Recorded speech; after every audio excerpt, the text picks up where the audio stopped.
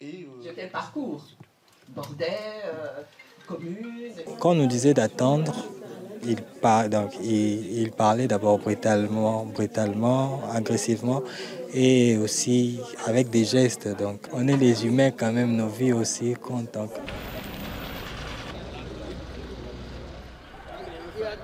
Euh, il y a des Ukrainiens qui sont privilégiés. Et pourtant, nous tous, nous venons de l'Ukraine. Alors, nous voulons bénéficier de ce, de- du même droit que. Donc, parce qu'on vient tous de la guerre, on a tous vécu la guerre.